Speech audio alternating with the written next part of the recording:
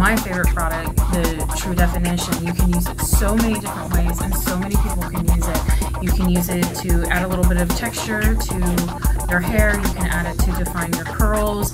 Gentlemen can use it to help style their hair if they want a little bit of a hold, but don't want like a shiny look or anything like that. It's very versatile and very easy to use.